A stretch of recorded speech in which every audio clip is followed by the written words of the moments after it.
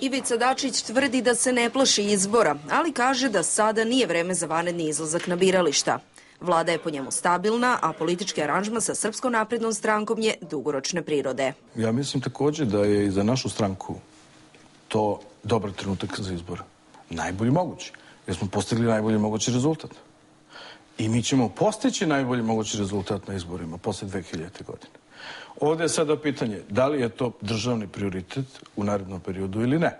Gospodin Vučić i ja smo razgovarali o tome više puta i zajednički smo konstatovali da izbori nisu tema, da to nije prioritet i da treba da nastavimo da radimo dalje na reformama. Dačić tvrdi da nikada nije štitio nikoga iz SPS-a. Svoju navodnu povezanost sa ljudima bliskim narkobosu Darku Šariću odbacuje. Nikad nisam video tog čoveka, govorim o Šariću, niti, e, znate, držav, tajnu službenu ili policijsku može da oda neko ko za nju zna.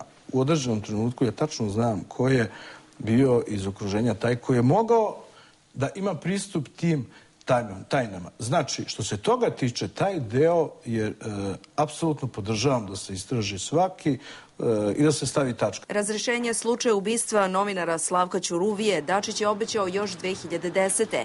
i nema objašnjenje zašto se još čeka na rezultat. Bili ste deo i te vlasti, Ja nisam bio deo državne vlasti u tom periodu. bili ste deo stranke koja je, Tako je. bila na vlasti. Tako da, da li, ja gledam isto kao što... da li je Slobodan Milošević davao ta naređenja? Pa kogod je davo ta naređenja treba da odgovara. U smislu sada Milošević je mrtav, naravno, ali ako je deo sistema te vlasti e, činio takva dela, sigurno da to treba da se procesuira. Nema nikakve dileme. Država, ja da kažem, pazite, deo državnog sistema je takođe ubio i Zorana Đinđića.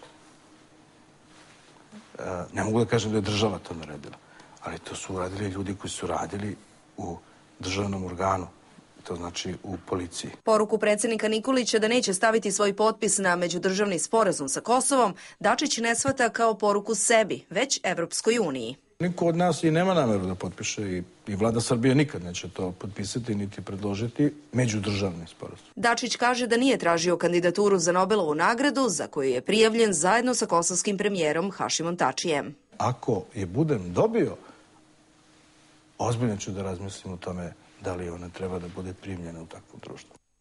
Osim dobijanja datuma za početak pregovora o članstvu u Evropskoj uniji, premijer jednim od najvećih uspeha svoje vlade smatra činjenicu da sve članice Evropske unije danas govore pozitivno o Srbiji.